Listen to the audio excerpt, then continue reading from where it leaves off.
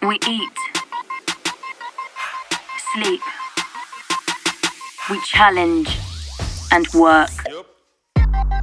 We talk, listen, question, and work. We learn, fail, and work. We love, we fight, and work. We are proud to be Young Capital. Work.